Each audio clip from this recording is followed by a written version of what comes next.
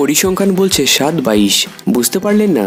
আইপিএলের ইতিহাসে মুম্বাই ইন্ডিয়ান্সের বিরুদ্ধে উনত্রিশটি ম্যাচ খেলেছে কলকাতা নাইট রাইডার্স। তার মধ্যে বাইশটি ম্যাচে জিতেছে মুম্বাই। মাত্র সাত, সাতটি ম্যাচ জিতেছে কলকাতা। পরিসংখ্যানই বলে দিচ্ছে, এই দুই টিমের লড়াইয়ে শেষে জিততে সক্ষম হয় মুম্বাই ইন্ডিয়ান্স। সেই ছবিটা এবার পাল্টাতে চাইছে কলকাতা। এবারের আইপিএলে তিন ম্যাচের মধ্যে দুটিতে জিতেছে কলকাতা। প্রথম ম্যাচে চেন্নাই সুপার কিংসকে হারিয়েছেন শ্রেয়াস আইয়াররা। দ্বিতীয় ম্যাচে ব্যাটিং ব্যর্থতাই ব্যাঙ্গালোরের কাছে হারতে হয়েছে।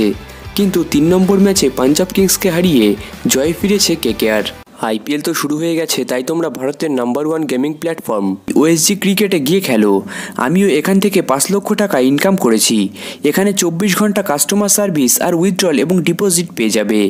এখানে আইপিএল চলাকালীন পঁচিশ থেকেও বেশি লোক কোটিপতি হয়েছেন। নিচে ডেসক্রিপশন এবং কমেন্ট বক্সে তাদের হোয়াটসঅ্যাপ নাম্বার দেওয়া হয়েছে। সেখান থেকে তোমরা ডাইরেক্ট আইপিএলের সমস্ত ম্যাচের জন্য আইডি নিতে পারো। আর এখনই জয়েন করলে দশ পার্সেন্ট বোনাস তোমরা পেয়ে যাবে। মুম্বাই শিবিরের ছবিটা অবশ্য আলাদা। প্রথম দুই ম্যাচেই হারতে হয়েছে রোহিত শর্মার দলকে।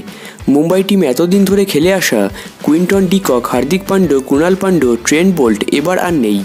সূর্যকুমার যাদব এখনও পর্যন্ত মাঠে নামেননি। তাই অন্যবারের থেকে কিছুটা হলেও দুর্বল দেখাচ্ছে রোহিতদের। কলকাতার টিমের প্রধান শক্তি এখন bowling.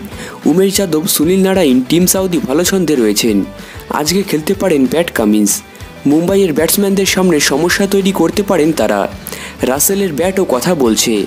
সব মিলিয়ে বর্তমানে ফর্মের দিক থেকে এগিয়ে আছে কলকাতা নাইট রাইডার্স।